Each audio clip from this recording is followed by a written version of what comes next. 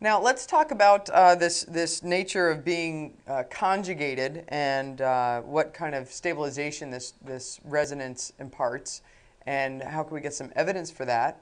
Let's take a look at three different types of dienes. One example, uh, each of these has five carbons, so these are all pentadiene examples.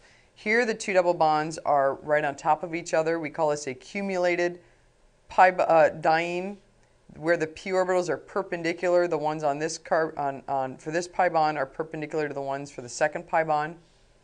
Here we have pure we have pi bonds that are unrelated, they're isolated. We have um, the p orbitals on these two carbons have no relationship at all to the p orbitals on the other two carbons.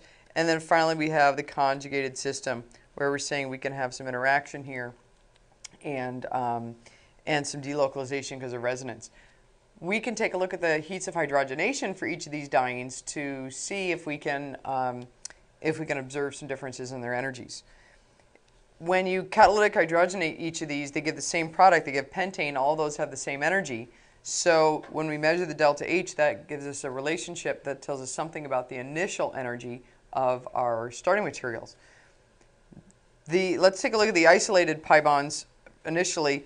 The energy release there is minus 60.7 kcals per mole. That's essentially the heat of hydrogenation for an alkene times 2. So because these double bonds are separate from each other and have no interaction, you simply get twice as much energy out as uh, if you had just one pi bond.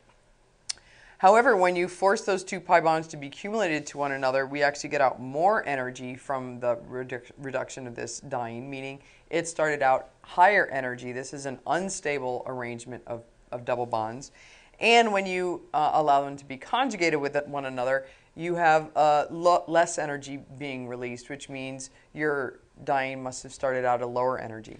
So again, if we do a quick little energy diagram, comparing these three, they're all going to the same product, the pentane product, but A must be starting at a higher energy than B, and C must be starting at a lower energy than B.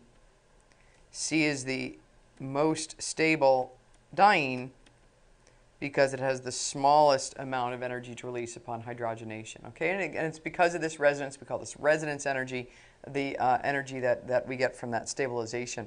And, and one thing I forgot to point out, on the past slide, another um, some physical evidence for this resonance interaction is that this sigma bond, this is shorter than a normal single bond.